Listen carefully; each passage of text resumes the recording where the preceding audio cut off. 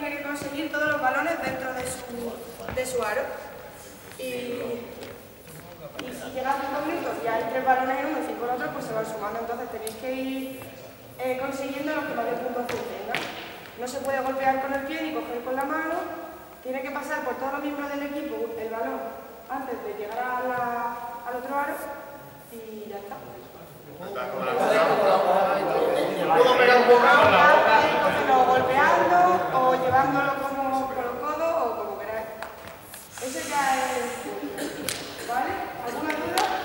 ¿Me toca el suelo? ¿Me puede tocar el suelo? No, no puedo tocar el suelo.